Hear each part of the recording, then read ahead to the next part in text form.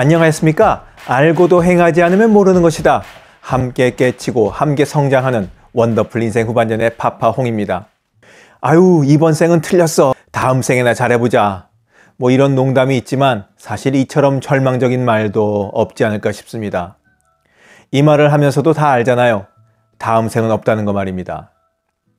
그래서 오늘은 다시 없는 인생, 한 번뿐인 인생을 오리지널로 살아보자는 이야기를 여러분들과 나눠보려고 합니다. 정말 사는 것처럼 재미나게 살고 싶으시죠? 저도 그렇습니다. 그럼 오리지널로 살아야 합니다. 자, 본격적인 이야기 지금 시작합니다.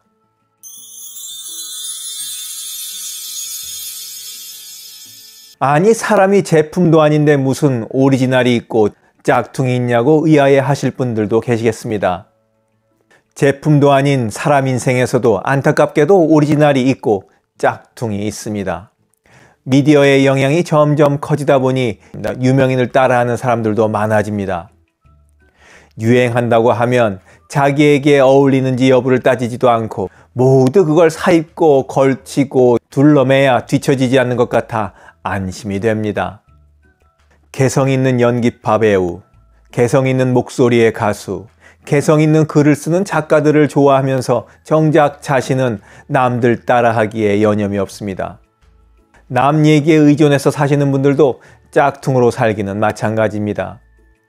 자신의 개성대로, 뜻대로, 의지대로, 생각대로 살지 못하고 늘 남에게 좋은 소리를 듣기 위해서 남에게 싫은 소리를 듣지 않기 위해 전전긍긍 남들 눈치를 보며 하고 싶은 것을 못하는 분들이 계시죠.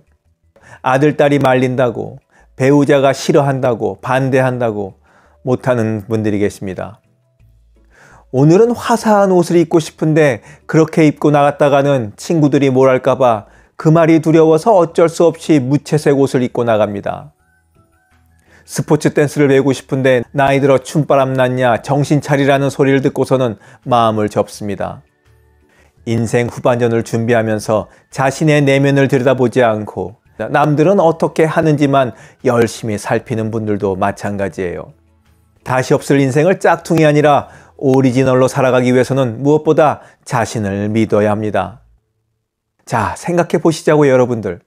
어렸을 적에 친구들이 나를 좋아했던 이유가 어디 있을까요? 그건 아마도 다른 누구를 만나서는 느낄 수 없는 나만의 독특함이 있어서 좋아했을 겁니다. 유난히 재미난 놀이를 잘 생각해냈거나 흥미있는 얘기를 잘 했거나 개구장이었거나 뭔가를 잘 만들었거나 그림을 잘 그렸거나 긍정적인 마음으로 공감을 잘 해주었거나 노래를 잘 불렀거나 축구나 야구를 잘 했거나 시를 좋아하고 잘 썼거나 아니면 반대로 유난히 조용하고 말수가 적어서 그 잔잔함이 좋았을 수도 있을 겁니다. 다시 없을 인생 짝퉁이 아니라 오리지널로 당당하게 살고 싶으시다면 앞으로 남은 인생 후반전은 친구들이 좋아했던 나만의 그 독특함과 유별남을 당당하게 드러내면서 살아가야 합니다. 직장 생활과 결혼 생활에 또 아이들 키우면서 까마득히 잊고 있었거나 혹은 퇴색되었거나 아니면 남들 눈치 보느라 꼭꼭 숨겨놓았을 수도 있는 여러분만의 우리만의 독특함과 유별남을 표현하고 드러내고 즐기면서 사시길 바랍니다. 그렇게 된다면 여러분의 독특함과 유별남이 새로운 사람을 만나게 해줄 것이고 여러분을 돋보이게 만들어주고 결국 새로운 기회를 열어줄 뿐만 아니라 인생의 새 지평을 눈앞에 쫙 펼쳐 보여줄 겁니다.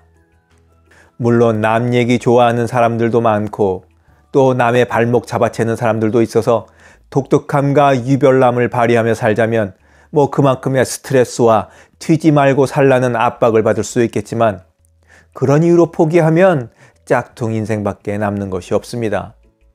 나만의 독특함과 유별남으로 나만의 스타일로 나만의 인생을 즐기고 살아간다면 그 자체가 매력이 되는 것이고 또 다른 누구도 흉내낼 수 없는 자산이 될 겁니다. 영상을 보시는 모든 분들이 인생 후반전에서만은 자신만의 독특함과 유별남으로 오리지널 인생을 살아가시길 기원하면서 오늘 이야기 마치도록 하겠습니다. 우리 다 같이 짝퉁 말고 오리지널로 살아가시자고요. 원더풀 인생 후반전에 후회 없는 인생은 계속됩니다. 감사합니다. 자랑질, 지적질, 아는 채, 있는 채 하는 사람들에게 지치셨죠? 상대방의 얘기 경청하고 익은 벼처럼 겸손한 사람들이 모인 곳이 있습니다. 바로 네이버 카페 실버들의 전성시대입니다.